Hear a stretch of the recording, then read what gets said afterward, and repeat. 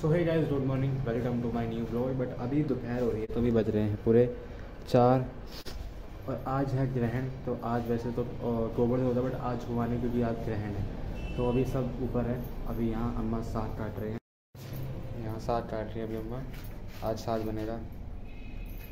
साग और मक्का की रोटी बनूँगी अच्छा। आज मैंने सवेरे से सवेरे रोटी खाई है। अब शाम को साग बना के जब भी साग से खाऊँगी पेट भर। अच्छा तो सब मैंने सुबह से एक ही रोटी खाई है अब साग खाना तो शाम को ही कसर निकाल रही है जितने दिन की खाना है ना सब शाम को खाएँगे काट लो ही है हाँ क्योंकि अम्मा तो सबसे ज़्यादा साग और साग के साथ में मक्का की रोटी बहुत खाते हैं। अम्मा पसंद होती है। सबकी अपनी अपनी पसंद होती है। एकदम अभी तो मिठाई एक ये बत्तीस रहा था ये पापा लाए थे तो ये लाए थे ये गोले की बर्फ़ी है गोले की बहुत अच्छी है ये टेस्टी है। और ये कंपनी है काजू वाली है और शायद एक दो मिठाई और रखी है तो मिठाई भरने वाली थी परसों है भैया दोस्त तो मिठाई आई थी बहुत सारी। फ्रिज तो अभी खाली पड़ा है।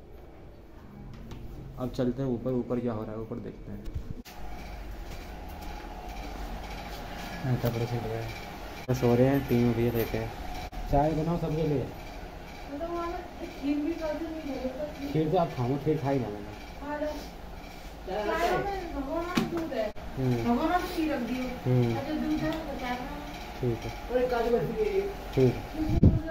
चलो पहले चाय बनाए थे सबके लिए, अम्मा पी रही सब पी लेंगे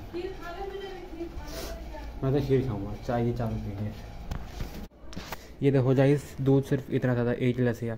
ये भी चालू हो जाए अब इसमें दो गिलासिया पानी की मिलावट करनी पड़ेगी। तो बना दिया चाय। आजा। जल्दी आ।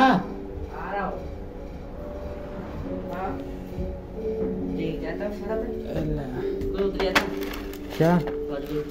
अरे चाय आया पागल है क्या? एक अरे पर चाय पी ले, बाद में चाय के साथ मिठाई खा था, इतना मीठा मीठा नहीं गया अपन तो बस अपनी ज़िंदगी में सुकून ये चीज़ है। ये म्यूज़िक सुनते जाओ। ज़िंदगी ज़िंदगी पार हो जाएगी मेरी तो तो गाइस अभी हो गई है शाम और आज बन रहा है साग। तो ऊपर चलते हैं। चूड़े रोटी खाएँगे आज।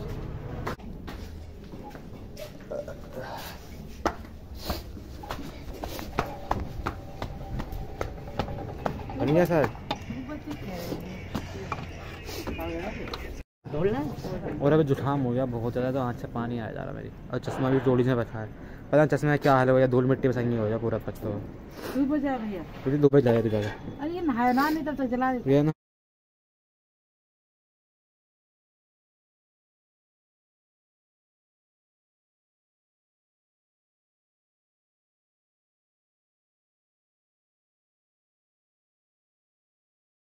है तो मैं लाऊं? चलो मैं जा रहा ऊपर से